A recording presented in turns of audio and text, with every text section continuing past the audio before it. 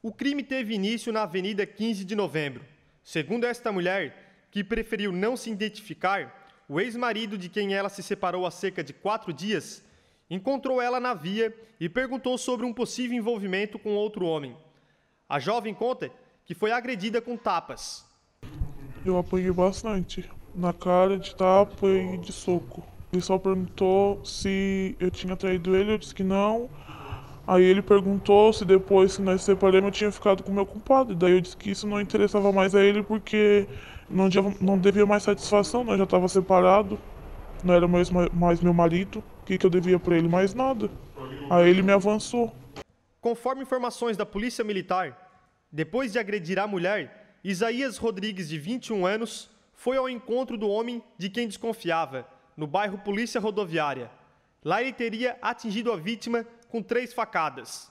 Isaías foi preso em flagrante. Logo em seguida, o Copom recebeu outra ligação relatando que dois masculinos estariam correndo em cima da BR-101, próximo ao Tanamão, a metalúrgica Valente ali, e que um, e um masculino estaria de posse de uma faca.